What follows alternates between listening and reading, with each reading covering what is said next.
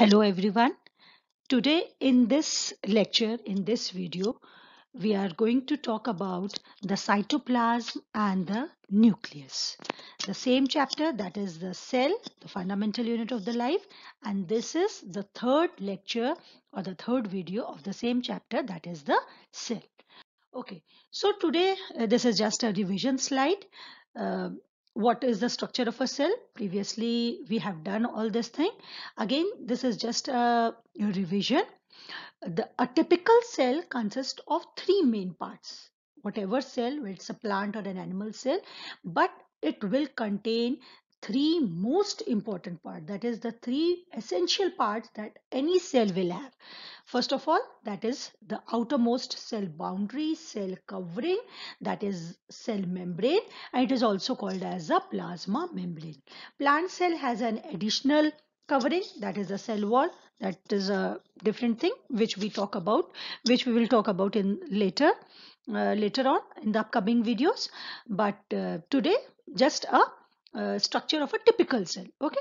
So an outermost cell covering or a cell boundary that is also called as a plasma membrane or the cell membrane the matrix of the cell the matrix of the cell that is called as a cytoplasm which we will study in detail in this video. And the very very important part of the cell that is the nucleus. This also we will study in this same this uh, today only uh, in the same video. Okay so let's start with the cytoplasm. Okay now what is a cytoplasm? First of all cytoplasm is a semi-liquid or we can call it as a jelly-like matrix a viscous fluid which is colorless and a transparent substance. And where it is present? It is present inside the cell in between the nucleus and the cell membrane. A small diagram is also given in this slide which you can see and uh, it will make you clear that what is a cytoplasm. Cytoplasm, it's a semi-liquid, it's a jelly-like matrix, viscous fluid, colorless, transparent and it is found between the nucleus and the cell membrane. Okay, the fluid part of the cytoplasm is also called as a matrix, which is composed of various organic and inorganic matter that is dissolved in water. Basically, uh, the cytoplasm Basically, cytoplasm is the main arena of cellular activities. Whatever activities is going on inside the cell, because we have already studied that cell is a functional unit of the life. So whatever function is going on, whatever cellular activities, metabolic activities is going on inside our body is basically going on, going inside the cytoplasm. Cytoplasm is the main area, main arena of the cellular activities both plant and animal cells. Various chemical reactions occur in it to keep the cell in the living state. Many activities are going on inside the cytoplasm. Okay, uh, continuously the cell, the chemical reactions, the cellular activities, metabolic activities is going on inside our body and just to keep the cell in the living state. So what is a cytoplasm? Again, revise it. Cytoplasm is a jelly-like, semi-liquid, viscous fluid, matrix, it's colorless, transparent substance. Where it is present? It is present inside the cell and it is found between the nucleus and the cell membrane. Outer covering and the nucleus, it is present in between them and it is a main arena of the cellular activities. All the cellular activities all the metabolic activities whatever function is going on inside the cell is in is where they all are going inside the cytoplasm. So and various chemical reactions are going on inside the cell which keep the cell in the living state. Okay then uh, this matrix, the cytoplasm is composed of, what is its composition? It is mainly composed of the various organic and the inorganic matter, okay, uh, dissolved in the water. And, okay, uh, now cell organelle and the cell inclusion, which we will do it in the upcoming videos. But today only you must understand that what is a cytoplasm okay? Then inside the cytoplasm are the various cell or organelles and the cell inclusions are present. But this thing which we will do in the upcoming videos in the next lecture in the next video. So we will not discuss it over here in the next video, I will explain you that what are cell organelles and the cell inclusion. But cell organelles and cell inclusions, both these things are present inside the cytoplasm only. Okay, so this we will do in the next lecture. Okay, now nucleus. This is most, most important part of the cell. Okay, it's a very, very important, most important double membrane bound part of the cell. Why this is so important? Why so much importance is given to the nucleus? Nucleus is so important because it is the it decides whatever function it it takes all the decision actually. It uh, actually whatever cell is about to do the decision will be taken by the nucleus. This all we will do it in this lecture only. So one by one. So when we are going to study nucleus we will study it in the four headings. First of all what is a nucleus? Then how it was discovered? Then what is its structure? And what is its function? So one by one. So let's start. What is a nucleus? Nucleus is a small spherical mass mostly located towards the center of the cytoplasm. In plant cell, this is not present, the nucleus is not present in the center, but actually it is shifted towards the one side. Why it is shifted towards the one side?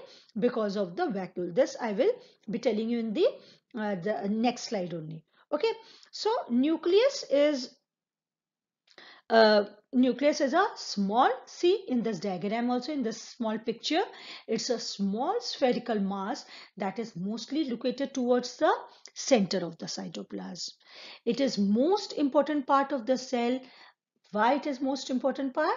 Because it takes the decision it decides what to do what not to do and it controls all the activities of the cell.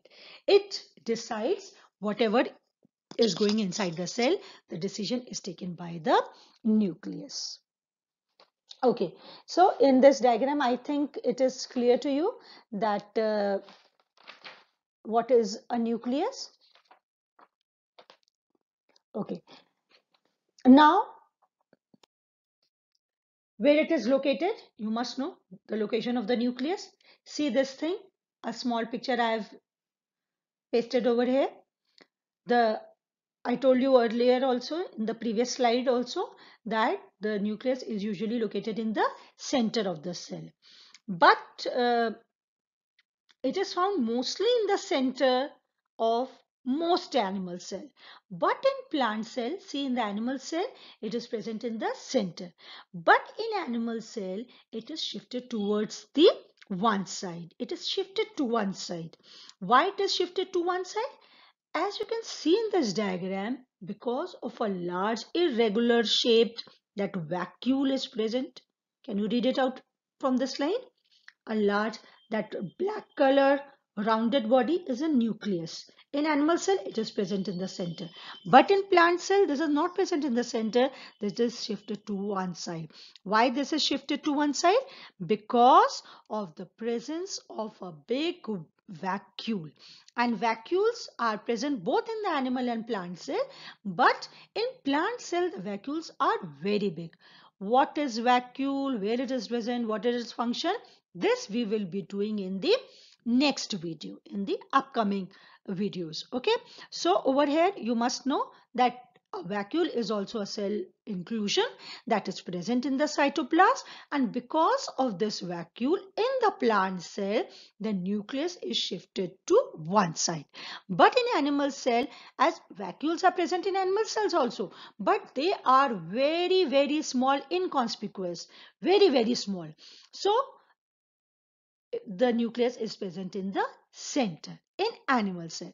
But in plant cell as vacuoles are very big and they occupy most of the part of the cell that is why the nucleus is shifted to one side. Okay. See in this slide also this is uh, actually a bigger picture of this this thing you can easily see animal cell and the plant cell and you can make it out the difference also that in animal cell the nucleus is present in the center only but in the plant cell the nucleus is shifted towards the one side because of this large vacuole present in the center. Now who is credited for this very very important part of the cell nucleus? Who is this gentleman? He is Robert Brown a botanist. Botanist, again, I've told you earlier in the first lecture only, botanist is the scientist who studies only about the plant cell. That means he has studied and discovered the nucleus inside the leaves, orchid leaves. Okay, so Robert Brown, a very, very uh, important scientist of its time.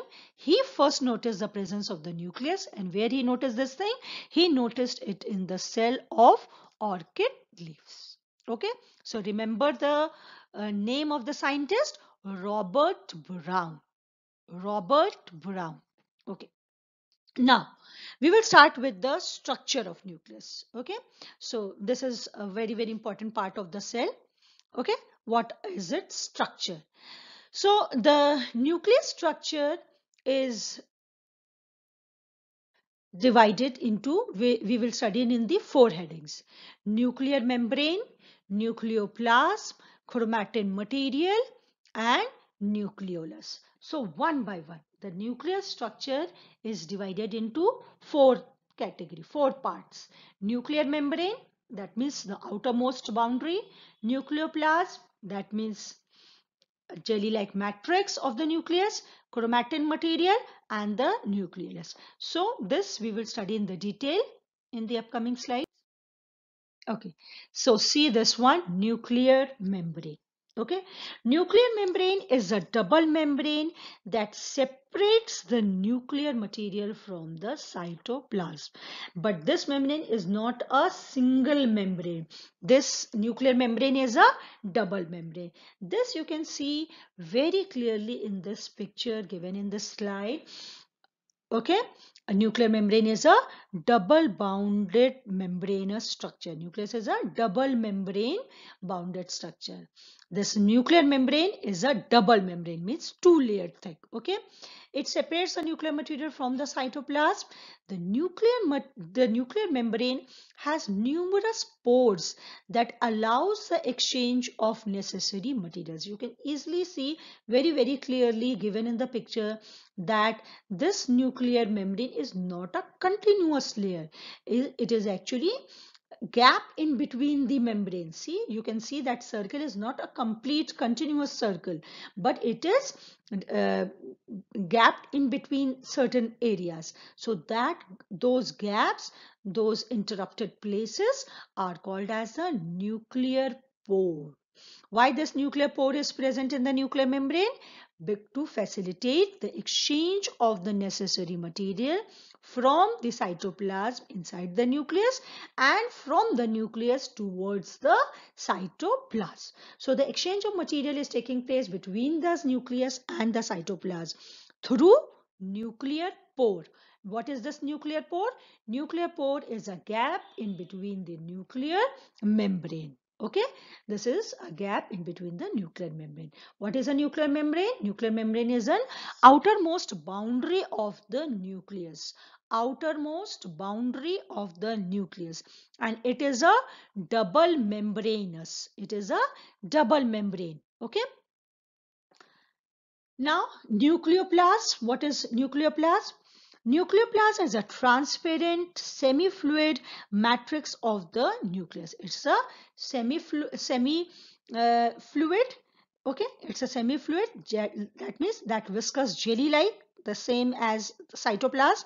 Transparent also, like cytoplasm.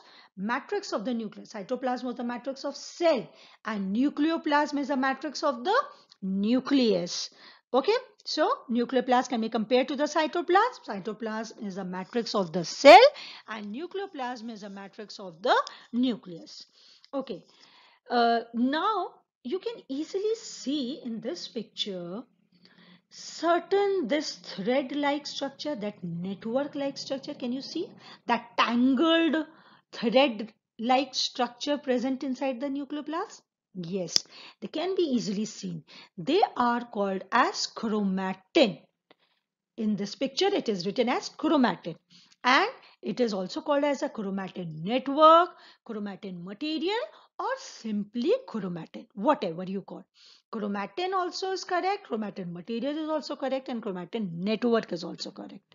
Okay so inside the nucleoplasm what is nucleoplasm nucleoplasm is a fluid like semi fluid viscous jelly like transparent matrix of the nucleus. Okay inside this nucleoplasm contain it the nucleoplasm contains a coiled network. Okay coiled network, tangled network like structure which is called as chromatin or chromatin material or chromatin thread or chromatin network, whatever you want to call. Now, what is this chromatin material? Chromatin thread or chromatin itself. The coiled network-like structure formed by chromatin fiber is the chromatin material. Now, what is this chromatin material and chromatin fibers which is tangled in the nucleoplasm? They are nothing but are the chromosomes. They are the chromosomes. And before the cell division, when the cell is in the resting stage, resting doesn't mean that it is sleeping and eating. Okay, resting means when it is not in the division phase when it is not preparing itself for the division it is called as a resting phase so in the resting phase the nucleus has chromatin network, chromatin material, chromatin fibers. Okay, when cell is about to divide, cell is preparing itself to divide, then this tangled network, tangled network, thread-like network, they condense to form the chromosomes. So this chromatin or the chromatin material is nothing more than a chromosome. Basically, they are the chromosomes. In the resting phase, they are called as the chromatin material. And when the cell is about to divide or in the divi dividing phase, division phase, this network is called as a chromosome. When it condenses, it condensed and it forms a chromosome. Now let us talk about little more about the chromosome. What is a chromosome? Okay, so we will talk about a uh, little bit more about the chromosome. Okay, so I think it is very very clear to you that in the resting phase when the cell is not dividing it's not active then inside the nucleus nucleoplasm is present and inside the nucleoplasm chromatin fibers tangled network coiled network like structure chromatin fibers are present. And same chromatin fibers tangled network thread like network they condense at the time of cell division to form the chromosomes okay? So now i will talk about little bit more about the chromosome. So what is this chromosome? Is uh, this thing? So we will talk a little bit more about the chromosome. Okay Chromosomes are thread-like structures located inside the nucleus of an animal as well as the plants. So if anyone asks you what is a chromosome? So first line that you are going to tell that chromosomes are the thread-like structures where it is present inside the nucleus. Now I think you must be clear that where is the chromosome located? Chromosome is located inside the nucleus. Both plant and animal cell okay uh, it is present both in the animal as well as in the plant cell Okay, so this chromosome is basically a large protein molecule. Uh, protein molecule, sorry. Each chromosome is made up of protein molecule and DNA. Now, what is this DNA? This, I think, when you will come in class 9th or 10th, then you will be able to uh, means correlate or understand more clearly. Uh, but now at this stage in class 6, you know only this thing that chromosomes are the thread-like structures that are present inside the nucleus of both plant as well as an animal cell and this chromosome is basically made up of DNA. Actually, chromosomes have some specific units. They are called as genes. And what are these genes? These genes are basically made up of DNA. D genes are basically the unit. Okay. They are basically the certain specific segments of uh, this DNA. Okay. And, and what is the importance of these genes? What these genes do?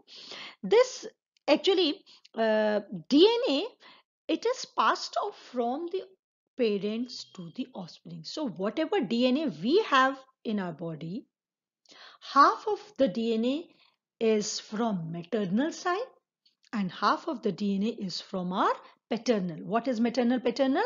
From our mother and from our father. So the uh, the chromosome contains the units called genes. Genes are made up of DNA. DNA is the genetic material and it is passed off from the parents to the offspring. So whatever DNA we have within our body, half of it is from our parents, mother and the father. And this DNA contains the specific instructions, DNA or the genes, whatever you call it as, it contains the specific instructions that make each type of living creature unique. So every uh, this thing DNA has some important instruction and every DNA means of every species is unique. Human species DNA is unique and pea plant DNA is another is of is a unique type. So every DNA has its own instruction of making that living creature a unique one. The term chromosome actually comes from the two Greek word chroma and some. Okay, chroma means color and some means body. So whenever it was seen in the uh, microscope, scientists have given this name to chromosome because they are cell structure or bodies that are strongly stained by some colorful dyes used in the research. So whenever they see in the microscope, they saw some colored bodies inside the nucleus. So they have named it as a chromosome okay so these genes these dna these genes specific segments units called genes made up of dna these genes are responsible for transmitting the characteristics from parents to the offspring. And the number of chromosome in each species is definite. Can you tell in our this thing human body has 46 chromosomes. But these chromosomes basically they occur in pairs okay? They are 23 pairs. And each species of plants and animals has a definite set of number of chromosomes. For example human beings has 46 or 23 pairs. Rice plant has 12 dog has 39 and fruit fly can you guess? Only four pair of chromosomes. So see in this slide uh, picture is shown to you. See, now eh, I think it will be very, very clear to you that the relation between the nucleus, chromosome, DNA and the gene. Cell, cell contains the nucleus. Nucleus has chromosome inside it, chromatin material, which at the time of cell division forms condensed to form the chromosome. This chromosome is made up of DNA and the specific segments of the DNA are called as genes. Okay. See in this slide also, I've shown you one picture. Human body is made up of billions and billions of cells. And one cell, if you see, has three most important parts. Outermost boundary cell membrane, cytoplasm, jelly-like matrix, and the nucleus. Nucleus again has nuclear membrane, nucleoplasm matrix, and inside the nucleoplasm is the chromatin fiber, tangled thread-like coiled network structure, which at the time of cell division condense to form the chromosome. These chromosomes are nothing but basically made up of DNA and DNA, the specific segment or the specific unit is called as a gene which is transmitted from the parents to the offspring and they decide the whole structure whatever uh, the characteristic the hereditary characteristics are all decided by these specific genes. Okay, now what is nucleolus? Nucleolus is a rounded body that is present. I think this actually, this is a nucleus is a rounded body structure. If you cut a thin this thing section, you can see that a nucleolus, a small rounded body is present inside the nucleus that is called as a nucleolus. What is its important? It takes active part during the protein synthesis. So whenever the cell is preparing itself for the protein synthesis, nucleolus helps the cell to uh, uh, helps the cell in the protein synthesis. I think this is also a very very good picture. Nucleo See this thing, nuclear membrane, nuclear envelope. It is. It can also be called as an envelope. Nuclear membrane, nuclear envelope. It's a double membrane structure. Small, small pores, uh, holes are present inside throughout the nuclear membrane. They are the nuclear pore. What is its importance, nuclear pore? It helps in the passage of substances from the cytoplasm towards the nucleus and from the nucleus towards the cytoplasm.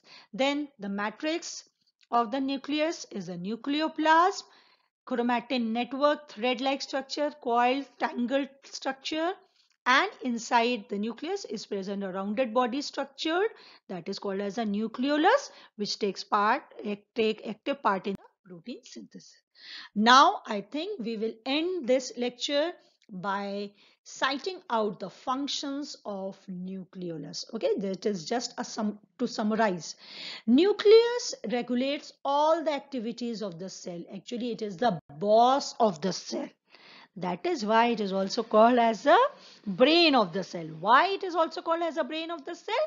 Because it will decide everything.